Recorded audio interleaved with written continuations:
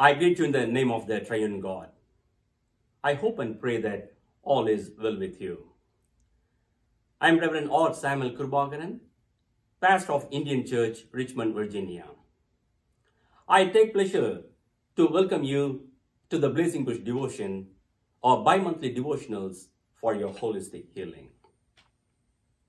For today's meditation, I am reading from Psalm 143, verse 10.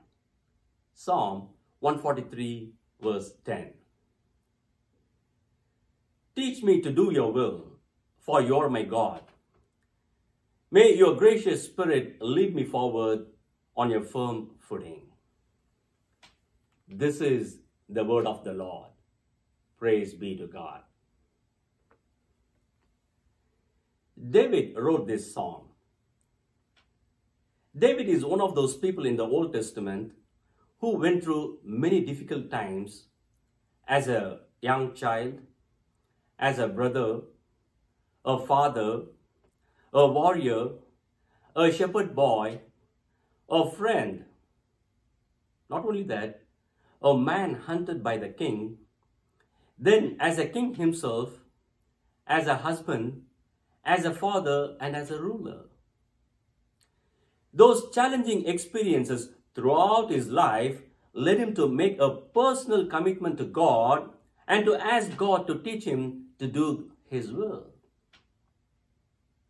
Not only that, David made a personal confession that God is his Lord and that he will seek the personal guidance of God's gracious Spirit to lead him, to lead him forward to a firm footing.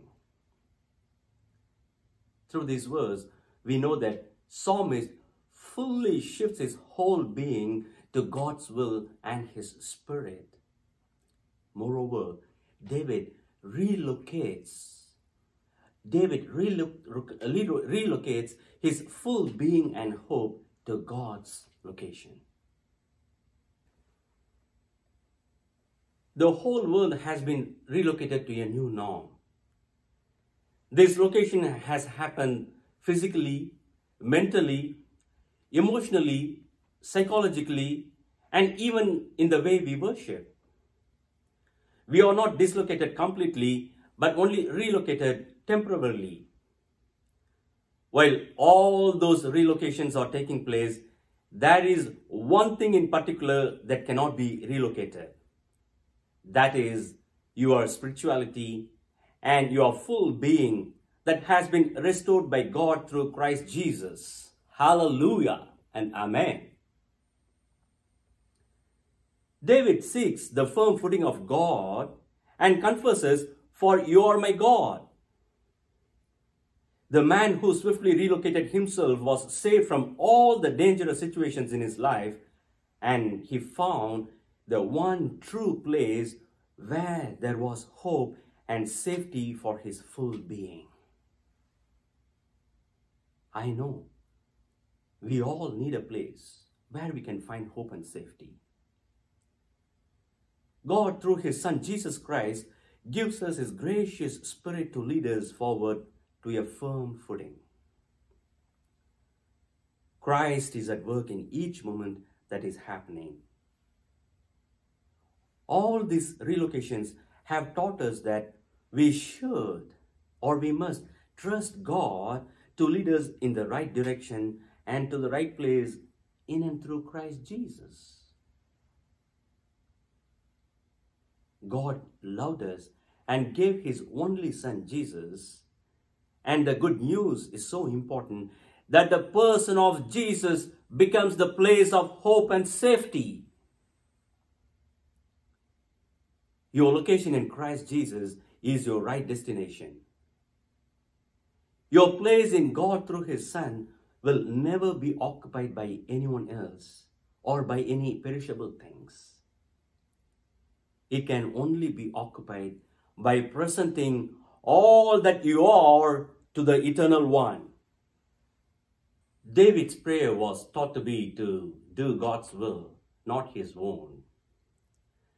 A prayer for guidance is self centered if it doesn't recognize God's power to redirect our lives.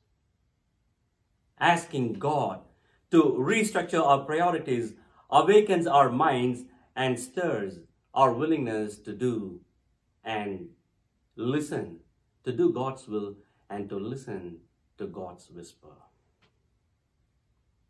Let us pray. Gracious God, we thank you for bringing us closer to you. Help us always to seek you and find our hope in you. Dear God, remind us that it is never too late to return to you. Help us to be open to receive your love and forgiveness. Thank you, Lord, for meeting us in solitude and giving us strength when we turn to you. In Christ's name I pray. Amen. Dear friends, be happy and rejoice that the person of Jesus becomes the place of hope and safety for you. Amen. God bless you. Have a wonderful day.